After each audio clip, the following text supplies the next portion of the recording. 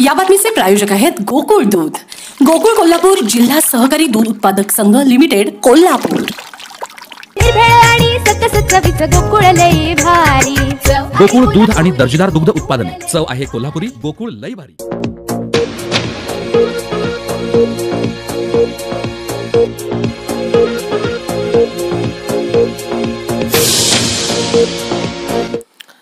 नमस्कार.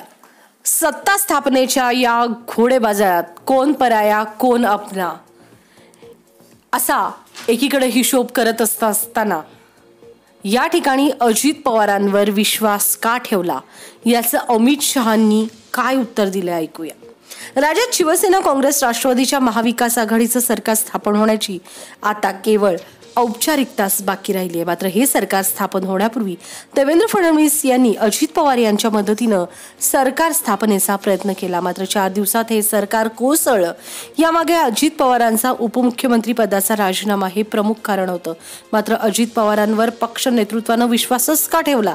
असा सवाल आता भाजपामधून विचारला जातो या सवालाला भाजपाचे चाणक्य म्हणून ओळखले जाणारे केंद्रीय गृहमंत्री अमित शहा यांनी नेमकं काय उत्तर दिलंय ऐकूया. भाजपाचे वरिष्ठ नेते एकनाथ खडसे यांनी माध्यमांशी बोलताना उघडपणे पक्षाच्या रणनीतीवर प्रश्न उपस्थित केला आणि त्यांनी म्हटलं अजित पवारांवर सिंचर घोटाळ्याचे आरोप आहेत. त्यामुळं भाजपानं त्यांचं समर्थन घ्यायलाच नको होतं.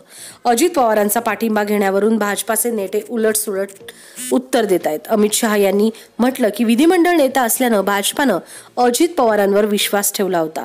तर देवेंद्र फडणवीस यांनी आपण योग्य वेळी उत्तर देऊ असं म्हणत या विषयावरती शांत राहणं पसंत केलं. एका वृत्तवाहिनीशी बोलताना शहांनी सांगितले की अजित पवारांकडे गेलो नव्हतो तर अजित पवारच आमच्याकडे आले होते असा गौप्यस्फोट अमित शहा यांनी केलाय. अजित पवार यांना राष्ट्रवादी काँग्रेसचा विधिमंडळ नेता निवडलं गेलं होतं.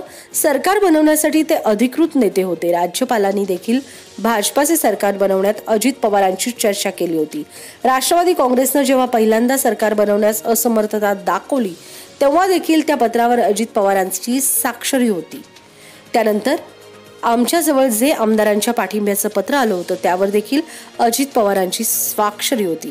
दरम्यान अजित पवारांवरील सिंचन घोटाळ्याच्या फाईल बंद करण्याच्या वाक्यावरती असं कुठलेही खटले मागे घेतलेलेच नाहीत असं देखील यावेळी शहा यांनी सांगितलंय.